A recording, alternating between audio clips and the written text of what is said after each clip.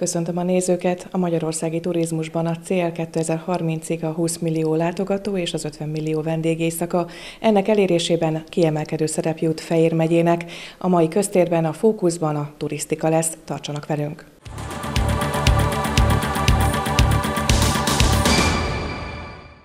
Belföldi turizmus van Magyarországon, a vidéki turizmus reneszánszát éli, Budapest viszont bajban van. A leghangsúlyosabb változásokat, a helyi fejlesztéseket, terveket ismertette a Magyar Turisztikai Ügynökség Székesfehérváron.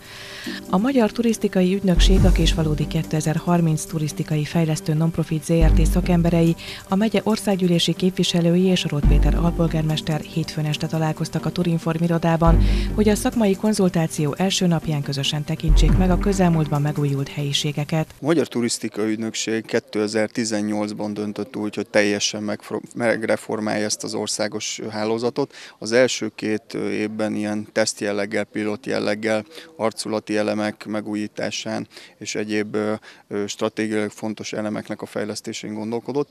Majd a, a nagy mérföldkő az a 2020-as évet érintette. 2020-ban egy nyílt pályázati konstrukciót hirdetett meg a meglévő turinformirodák számára, pályázati konstrukció keretében 500 millió forint visszanemtérítendő támogatásra pályázhattak a turinformirodák, így tette a Székesfehérvári turinformiroda is. Ő ezen pályázati keret összegében 19,7 millió forintot nyert a pályázatból. Az idei év az még akár a tavalyi évet is felül tudja múlni a belföldi turizmus szempontjából. Miért fontos ez? 2019 év a turizmus szempontjából egy bezzegév volt, minden rekord megdőlt, tehát a legtöbb turista, legfőbb külföldi turista akkor érkezett Magyarországra. 2020-ban azt láttuk, hogy a belföldi turizmus szempontjából egy sokkal jobb évet zártunk, tehát hogy mi magyarok belföldön sokkal több vendégészakát töltöttünk el, mint 2019-ben évben. Az idei évben pedig azt látjuk, hogy még a 2020-as évet is talán meg tudjuk verni, hogyha mondhatom így. A Turinform irodát mindenféleképpen meg kell említeni. A Magyar Turisztika Ügynökség hatalmas szerepet szánt, akár a turizmus újraindításában a, a vidéki Turinform irodáknak. Ugye ezen már túl vagyunk, tehát a turizmus elindult, remek számokat zár a térség, Székesfehérvár is gyakorlatilag majdnem teljes szobakapacitással várja a pihenni vágyókat. Tehát a Turinform iroda nem csak egy eszköz, hanem egy nélkülözhetetlen eleme annak, hogyha valaki el akar jönni Székesfehérvárra vagy a térségbe pihenni, attrakciót nézni, vagy akár a történelmi gyönyörű várost megtekinteni, akkor itt naprakész információt kaphat a kollégáktól. Az országos turinform hálózat jelen pályázati konstrukciójában 22 vidéki turinform iroda újult meg, és ugye nem titkolt célunk az, hogy ezek a fejlesztések a jövőben is folytatódnak majd. Most a világjárvány után, közben óriási jelentősége van annak, hogy, hogy meghívjuk a Magyarországon élőket ide városunkba, Székesfehérvárra, hiszen így tudunk segíteni saját magunknak, saját magunkon, hogy a belföldi turizmust kérjük és ösztönözzük, és arra biztatjuk a, a magyar embereket, hogy itt Magyarországon utazzanak, és jöjjenek el például Székesfehérvárra, mi gyönyörű városunkban, a nemzettörténelmi fővárosába hiszen itt rengeteg látnivaló, ha itt a Turinform irodában körülnézünk, akkor láthatjuk, hogy mi mindenről fog szólni, ami augusztusunk, királyi napok, óriásbábok, szertartásjáték, bízunk benne, hogy, hogy ez az augusztus más lesz, mint a, a tavalyi augusztus Szent István ünnepét valóban méltó módon tudjuk megünnepelni. Megnyílt az egyházon ugye egy látogatóközpont, amely egy zarándok központ is lesz a jövőben, tehát a zarándokokat is várjuk, akik Szent István városába zarándokként szeretnének megérkezni a családokat, gyermekekkel. Tehát készülünk a, készülünk a, a nyára, és készülünk a turistákra, és mindenkit szeretettel várunk. Én azt hiszem, bárhol járunk, bármelyik városba megyünk, egy turinform irodának lenni kell. Kell lenni egy központnak, ahol megtalálunk mindent, megtalálhatjuk a, a, a hely termékeit, a kézműves termékeket, megtalálhatjuk azokat az ajándéktárgyakat, amelyeket szeretnénk hazavinni, és megtalál, meg, megtaláljuk azt az információt, amire szükségünk van, hogy mit is nézzünk meg ebben a városban. Nekünk itt a Városháztéren, központi helyen áll és fogadja a látogatókat a, a Turinform iroda. Ez az iroda is sokat fejlődött az elmúlt, az elmúlt években, mint ahogy a szálláshelyénk is fejlődtek, nőtt a Székesfehérvárra látogatók száma, és arra szeretnénk biztatni mindenkit, hogy jöjjön és látogasson a városunkba. 2020-as évben a Székesfehérvári Turinform Iroda a kisfaludi pályázaton közel 20 millió forintot nyert el a helyi Turinform Iroda megújítására. Itt a műemléki épület felújítása, tehát helyiségének felújítása mellett teljesen új bútorzat kialakítására lett lehetőségünk. A pályázat arculati előírásainak megfelelően készültek el az irodánkban látható bútorok. A pályázaton pályázat keretein belül továbbá szolgáltatás fejlesztésre is lehetőségünk nyílt. Ingyenes wifi szolgáltatás érhető el az irodában, mobiltöltőpont és csomagmegőrző szolgáltatással is bővült a kínálatunk. Városlátnivalói természetesen most is örökélményt kínálnak az ide látogatóknak, az irodánk pedig folyamatosan program új programokon dolgozik, garantált városnéző programjainkon, kisvonatos kirándulás, esti fákjás városnézéssel várjuk az érdeklődőket. Az általános városnézés, vagy a mi programainkon túl természetesen a városunknak, Szent István Király Múzeumnak a kiállító helyei várják az érdeklődőket, a Nemzeti Emlékhely, egyik központi érdeklődési pont. A Hetet Hét Játékmúzeum ugye a családosok nagy kedvence. Megújult ugye pár éve a strand, ami szintén, szintén közkedvelté vált mostanra, valamint a Koronás Park, a Csónakázótó, és nem mellesleg ugye a Sóstó természetvédelmi terület. Ha az előző évhez viszonyítunk, akkor, akkor sokkal több érdeklődő már érzékelhető elérhető a városunkban, ezt szerencsére a szálláshelyek is visszajelzik számunkra. Természetesen még mindenki óvatos, de betartva az előírásokat, én azt gondolom, hogy, hogy az érdeklődők száma egyre növekedni fog. A turisztikai szakmai találkozó kedden délelőtt folytatódott. Guller Zoltán, a Magyar Turisztikai Ügynökség vezérigazgatója beszámolt arról, milyen változások tapasztalhatók a turizmus vendéglátásban. Covid járvány talán a legjobban a turizmus vendéglátás ágazatot sújtotta, talán a legnagyobb pofont a turizmus kapta. 19-ben még egy sikerágazatról beszéltünk, amely több százezer embernek adott munkát, amelynek a növekedése 19-ben a válság előtt kettőször, és tavaly január-februárban pedig négyszer haladta meg a GDP növekedést.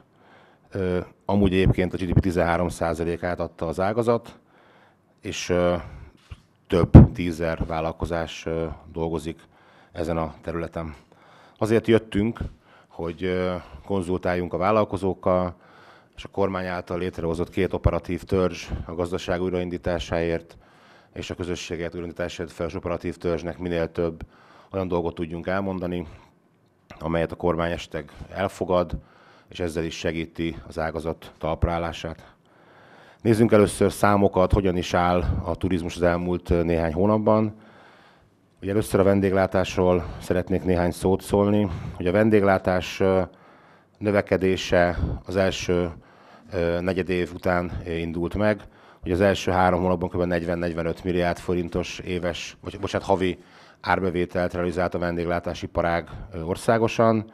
Ez a szám májusban gyakorlatilag már 84 milliárd forintra nőtt, júniusban pedig 102 milliárd forintot ért el, ami egyébként jóval magasabb, mint egy évvel korábban, és az induló állapothoz képest is majdnem háromszor akkora, tehát dinamikus növekedést látunk országos szinten a vendéglátást illetően. A vendégészek a számokat tekintve az első három hónapban országosan közel 2 millió vendégészakát mértünk, áprilisban 600 ezeret, júniusban, bocsánat, májusban 1,3 milliót, és júniusban már 2,5 millió vendégészakát láttunk az ország szálláshelyén, ami egyébként 62 kal magasabb, mint egy évvel korábban, amikor a belföldi turizmus a rekordévét könyvelte el. Fehérvár városában kétszer annyi, Velencében több mint kétszer annyi turistát számoltunk, mint egy évvel korábban ha Isten is megsegít bennünket, erős lesz a július-augusztus is. Most úgy látjuk, hogy kb. 15%-kal magasabb már most a július, mint egy évvel korábban volt. Tehát ha minden jól alakul, akkor ebben az évben országos szinten kb. 30 millió vendégészakát fogunk elkönyvelni, ami 19-es 41 millióhoz képest kevesebb, de a tavalyi 23 millióhoz képest egy jóval magasabb szám, és minden reményünk megvan arra, hogy a következő évben, 22-ben el fogjuk érni a 19-es bezzeg év számait. Néhány adat a szépkártyával kapcsolatban. Több mint 250 ezerrel több felhasználó van már a Széchenyi kártyának, közel 2 millió 250 ezer ember használja ezt az eszközt.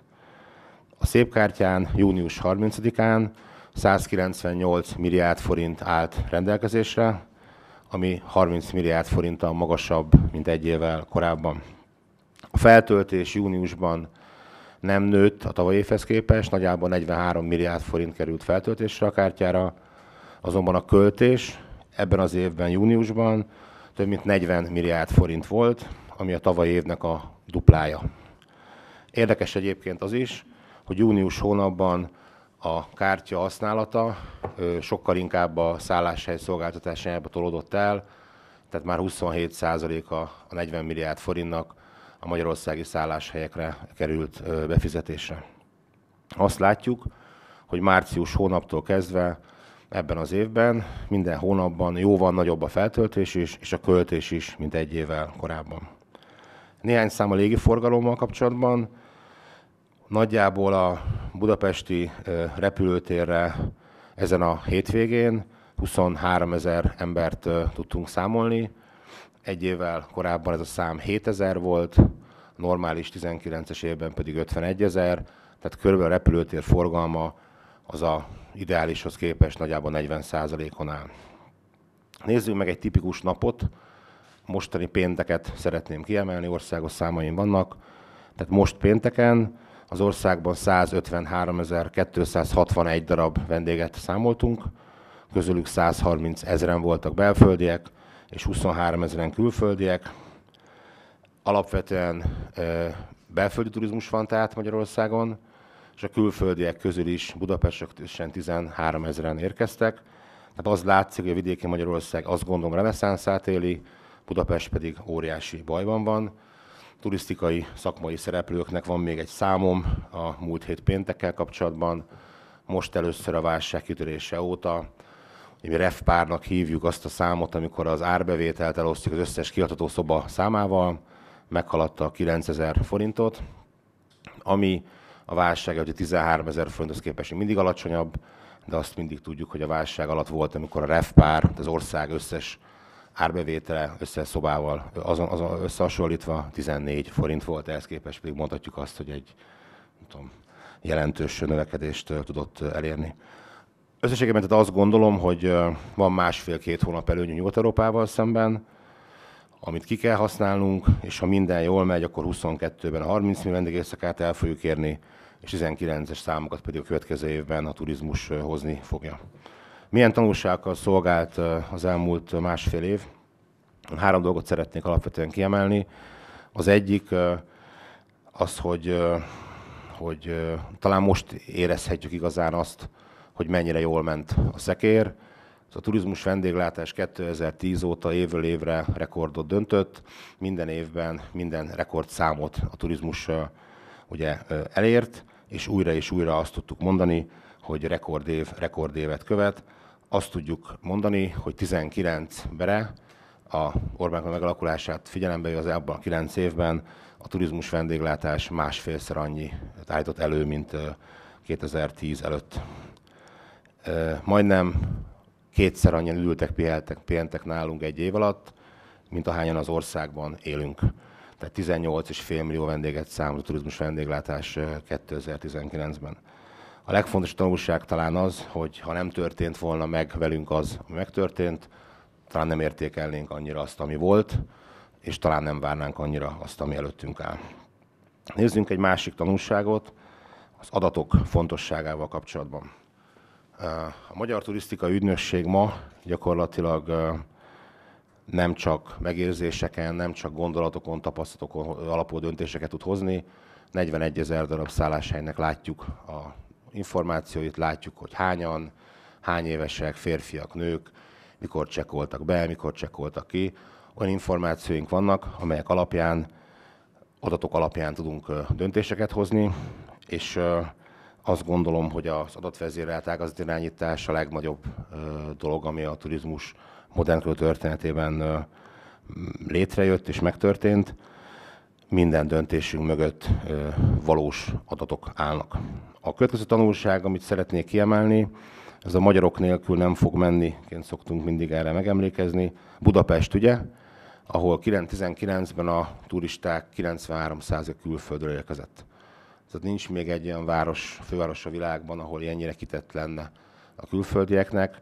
Én azt gondolom, miközben a vidéki Magyarország reneszánszát élte, Budapest az ürességtől kongott.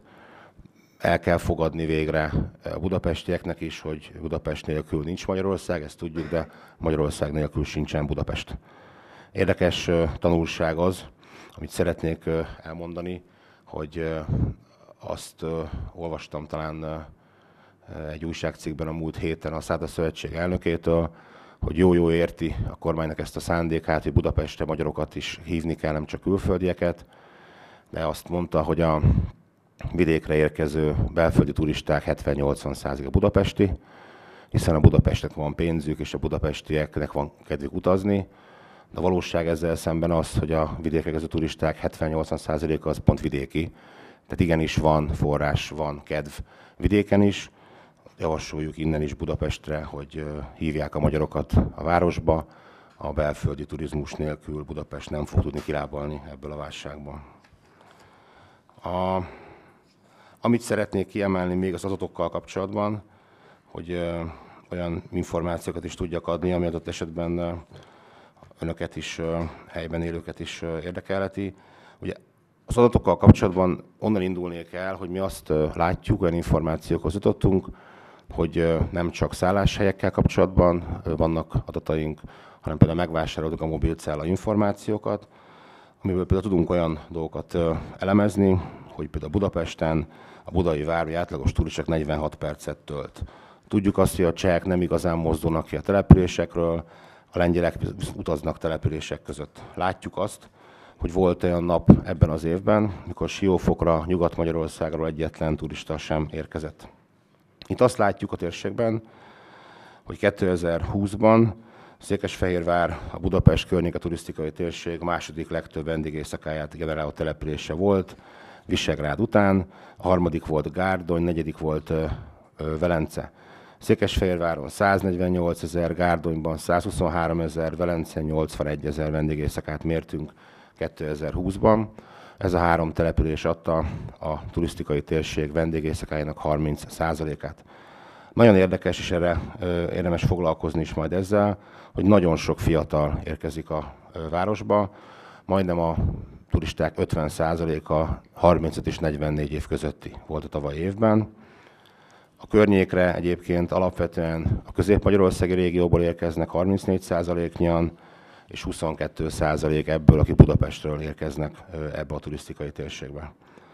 A, városok, a városon belül az attrakciók közül egyértelműen a Borivár a legnépszerűbb. Az ideérkező turisták 26%-a elmegy a Borivárat megtekinteni, és több mint a fele egy egész napot eltölt a környéken. Azaz más nem is néz meg azon a napon. A vár meglátogatása alapvetően 81%-ban az itt töltött pihenés első teljes napján történik. A mobilcella információkban az is látszik, hogy nagyon sok vendég jelenik meg a gyárak és sportesemények helyszínén, tehát azt gondoljuk, hogy nagyon magas üzleti célú és a sportrendezvények látogatóinak az aránya. Az egynapos turisták körében ugye nem csak a várat tekintik meg, hanem 35%-an a Fehérvári belvárost is megnézik. És érdekes tendenciát látunk, a Rózsaliget és környékének majdnem 10%-os a látogatottsága. Ebben a területben mi komoly potenciált látunk. A férvei utazók 41%-a elmegy a Velencei tóhoz, ez nyáron majdnem 70%. A velencei turistáknak viszont csak 11%-a jön Fehérvárra. Én azt gondolom, ezen a kérdésen majd fejlesztenünk kell, meg kell hívnunk a velencei érkezőket is, hogy jöjjenek el Fehérvárra. Érdekesség szintén az, hogy a vendéglátás forgalma május vonatkozásában az áprilishoz képest majdnem 50%-kal nőtt Fehérváron, és meghaladta az 1,6 milliárd forintot. Fontos, hogy a járásban a vállalatok, az összes vállalat árbevételének 8%-a a vendéglátásból származott májusban, ami az országos átlag feletti mutató. Itt kiemelkedik egyébként Gárdony járás ebből a szempontból, ahol a szám majdnem 15 százalék. Az egy lakosra jutó vendéglátás árbevételét tekintve országosan a tizedik legmagasabb számot produkálta ez a térség. Az adatokra épülve alakítjuk ki a marketing tevékenységünket is. Ebben az évben már minden turisztikai térséget csak ott és azoknak reklámozunk, akiket és ahonnan hívni szeretnénk. Tehát minden turisztikus önálló marketing arcot kapott, önálló filmeket készítettünk, és oda hirdetünk alapvetően a social médiában, ahonnan turistákat szeretnénk várni. Még néhány adat a kisföldi programmal kapcsolatban. Nagyon sok fejlesztés zajlott ebben a térségben is állami támogatásból. Mi a saját számainkat úgy látjuk, hogy összesen 336 darab turisztikai projekt valósult meg, csak nem 20 milliárd forint értékben. 13 panzió, 231 magánszálláshely tudta kínálatát fejleszteni, 381 szoba újult meg, és 83 új szálláshelyi szoba tudott létrejönni. A strandfejlesztés keretében 9 strand kapott közel 400 millió forint támogatást, de ezen kívül számos uniós program is zajlik a megyében. Nagy részük ebben az évben, az év elején le is fog zárulni. Összességében annyit szeretnék még elmondani önöknek, hogy én nagyon bízom tehát abban, hogy a következő évre a turizmus vendéglátás helyreáll. Ezzel kapcsolatban kérjük ma is a turisztikai szereplők gondolatát, ötletét, mit tud tenni a kormány a gyorsabb talprálás érdekében, és tovább is az a célunk, hogy 2030-ig a turizmus vendéglátás érje el, hogy 20 millió vendég legyen az országban, akik 50 millió vendégészakát töltenek el nálunk, legyen Magyarország újra közép vezető turisztikai térsége, a turizmus pedig legyen a gazdaság húzó ágazata. Fejér megyében számos fejlesztés valósult meg, összesen 336 projekt részesült közel 20 milliárd forint támogatásban, 13 panzió és 231 magánszálláshely fejlesztette kínálatát. Egy 228 millió forint kormányzati támogatás érkezett egyedül Székesfehérvárra, a Székesfehérvári turizmus fejlesztésére, és nincsen sikeres turizmus, nem létezik szálláshely nélkül, elegendő számú és minőségű szálláshely nélkül. Ezért fontos, hogy a kisföldi program keretében 17 székesfehérvári szálláshely is megújulhat, megújulhat a jövőben, illetve ezek a fejlesztések folyamatban vannak, mint egy 170 millió forint értékben, de a járványhelyzet miatt nehéz helyzetbe került szállásadók is, idegenvezetők, zenészek és támogatásban részesültek, és hogy vezérigazgatóra sajtótájékoztatón elmondta a biztatók, a számok. Székesfehérvár az első három helyezett között van a vendégészakák számát tekintve, a két királyi székhely, Visegrád és Székesfehérvár az első két helyen. Mi azon igyekszünk, hogy az első helyre ö, kerüljünk, mindent megteszünk azért. Az Árpádház program keretében zajló felújításokkal és az Árpádházok, Árpádház művét bemutató kiállítással, a látogatóközpont megépítésével, a köztársaság moziban, ahol bemutatjuk majd a bazilika köveit, hogy legyen Látnivaló is lesznek augusztusban Székesfehérváron a királyi napok keretében programok, ezekkel várjuk az ide turistákat. Törő Gábor országgyűlési képviselő a jövőben is folytatódó kastélyprogram fontosságát emelte ki a sajtótájékoztatón. Jelen pillanatban is egy komoly fejlesztés van Bodajkon, amely a Bodajki kastélynak a felújítás, amely része lesz a vadászati kiállítás rendezvénysorozatnak. Móron is található három kastély, abból már egyet felújítottunk, amelyben a polgármesteri hivatal található, de rajta kívül még vannak kastélyok, amelyeket fel, fel szeretnénk újítani, illetve ne felejtsük el, hogy ha már szóba került a Borivár, akkor Fehér, megyébe, Fehér megyének van egyetlen középkori vára, amely Csókakőben található, melynek az első ütemű felújítása megtörtént, és vélhetően a kastély és várprogramon következő ütemébe szerepelni fog. Ez egy kiemelt turisztikai fejlesztés lehet. Hátra van még az Iszka Szentgyörgyi kastélynak a felújítása, illetve a Fehérvár Csurgói kastély több ütembe felújult, illetve most zajlik a legutolsó lépcsőfok a mellette lévő lovardának a felújítása, amely aztán egy két kész komplex beruházást jelent a térségbe, illetve Gulyás miniszter úr jön majd augusztus 1-én átadni a Nádasladányi kastélyt, amely szintén több ütembe, amelynek szintén több ütembe történt a felújítása. Nyilvánvalóan, ha ilyen felújítások zajlanak, akkor a célszerű, ha ezeket el is tudjuk érni, így aztán a turisztikai attrakció keretén belül top forrásokból kerékpár utakat kezdtünk el építeni, így került összeköttetésre Mor és Bodajk. Tervezés alatt áll Bodajk Fehérvárcsugó közötti szakasz, így a két település összekötésre kerül, majd a további tervezésre elindulunk Fehérvárcsurgótól egészen a Csákvári programok fele, mert nyilván az nem, az én körzetem, de az a célszerű, ha ezek a kastélyok nem csak felújulnak, hanem használva vannak, látogathatók. Nyilvánvalóan akkor működőképes ez a rendszer. Illetve Móról egy kerékpárút megint, megépült már Csókakő fele, amelyel a kerékpárturizmus számára elérhetővé teszi szintén egy, lassan egy kört be tudunk írni, amelyre közel 13 települést rá tudunk fűzni.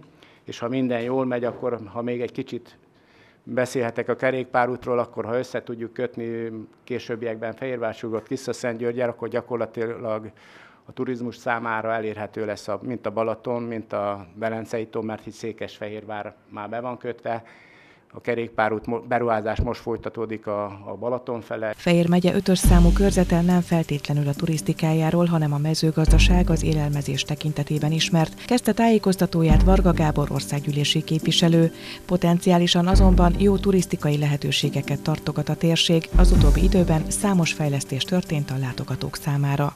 Alapvetően nálunk ilyen szálláshelyek fejlesztése történt. Egyrészt panziók, két panzió, egyik ingyen másik Lajos Komáromban fejlesztett, illetve magánszálláshelyek, ami kb. 16 helyszínen valósult meg, közel 50 szoba az, amelyet fejlesztettünk az elmúlt évben. De nem sokára átadjuk a Dégi kastélyt, ez a Magyarország legnagyobb klasszicista kastélya. Másrészt Soponyai Centrumot tudnám ajánlani, illetve a Récilasi halastavakat, de hogyha Gorziumot említem, akkor azt gondolom, hogy mindenki számára értető érthető, hogy miért is, hiszen ez egy olyan római település, római kori település, amelyet megőrzött a természet teljes valójában.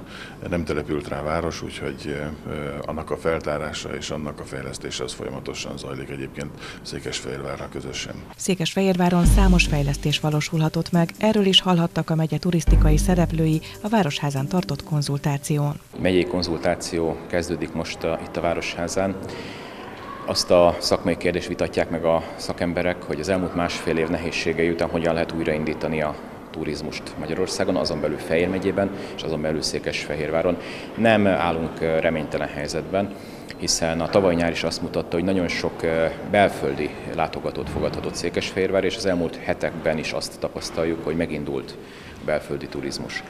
Bízom abban, hogy ha a járványhelyzet nem lesz súlyos, és a negyedik hullámot amennyire lehet hát vészeljük, akkor a 21, 21-es év után a 22-ben már a nemzetközi turizmus is meg tud indulni, és külföldi vendégeket is láthatunk ismét Székesfehérváron.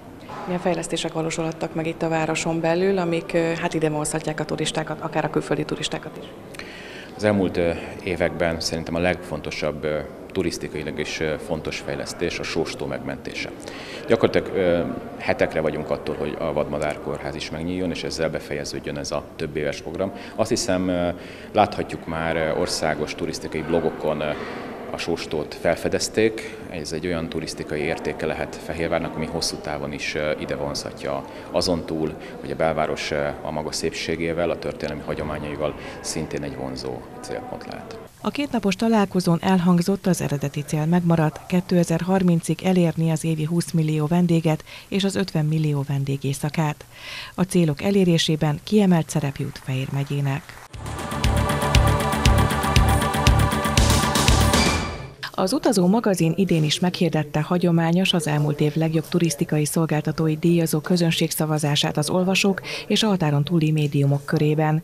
Érsek M. Zoltán az elismerések átadóján elmondta, nehéz a turizmus vendéglátás helyzete a pandémia óta, de a legjobbakat most is szerették volna kiemelni. A tavalyi év az egy nehezen értékelhető szakmailag, de mégiscsak értékelhető vendégileg, hiszen mégiscsak voltak időszakok, amikor el lehetett menni szállodába, étterembe, és gyakorlatilag azt gondolom, hogy nagyon nagy küzdelem volt mindenkinek, aki ebbe a szakmába volt, hogy ez egyáltalán működjön, hogy fent tudjanak maradni, és működni tudjanak, sőt, ráadásul a minőséget tudjanak adni, ami a vendégek számára megfelelő és, és sikerült. A magazin díjazta a legjobb horvátországi magyar szálláshelyet és éttermet, a Kárpát-medence legjobb magyar éttermeit és szálláshelyeit. Kiderült Magyarországon melyik a legjobb wellness üzleti konferencia szálloda, magyaros, vidéki és szálloda étterem, cukrászda, wellnessfürdő, vízipark, gyógyfürdő. Az év városnéző szolgáltatója a Fehérvár Travel lett. Egy olyan üzletág van dolgozva, ahol a bizalom rendkívül fontos, minden elismerésnek, minden ilyen díjnak, ami ráadásul a közönség részéről érkezik, nagyon nagy értéke van, és hát különösen fontos ez most így a pandémia utáni újraindulás időszakában. Nyilván nehéz volt ez a másfél év a cégnek az életében, de hát azért azt gondolom az, hogy, hogy valamennyi dolgozónkat meg tudtuk tartani, illetve itt az elmúlt két hónapban már több mint 50 csoportunkat el tudtuk indítani szerte Európában, az, az nagy dolog. A közönség az év turisztikai városának Székesfehérvárt választotta. Beérett az az évtizedes munka, ami nagyon sokat tett abba, hogy Székesfehérvár igazi turisztikai attrakciókat tudjon bemutatni. Láthatóan a magyar emberek ezt tetszik nekik, és visszaigazolták ezt a munka eredményességet. Köszönöm annak a nagyon sok embernek, aki ezért dolgozott a turizmus szervezésében, a vendéglátósoknak, a szállodásoknak, és minden olyan intézménynek, szervezetnek, akár civil közösségnek is, aki ezen dolgozott az elmúlt években. Rót Péter hozzátette, nagyon sokan ismerik a Borivárat, mint Székesfehérvár turisztikai attrakcióját, és véleménye szerint egész Közép-Európában egyedülálló a sóstó természetvédelmi terület. Emiatt a két hely miatt is sok látogató érkezik Fehérvárra. A városunk égkövével, magával a belvárossal, amellett számos turisztikai kínálattal bővültünk. Az előző évben ugye a Sóstó Látogatóközpont a természetvédelmi területnek a gyönyörűségei megigézték a városunkba érkezőket. Egyik leglátogatottabb helye lett a városunknak. Természetesen a Borivár, a Csónakázótó és a, a gyermekek kedvence, a Koronás Park, a Jetetét Játékmúzeum még mindig a top lista élén áll. Görög Viktória hozzátette, idén is állandó programokkal várják a látogatókat, többek között városnéző sétákra, kisvonatos borivár és sóstó kirándulásokra, éjszakai fákjás sétákra invitálják az érdeklődőket. Kedves nézőink, a mai köztérben a fókuszban a turisztika állt. Köszönjük, hogy velünk tartottak, viszontlátásra!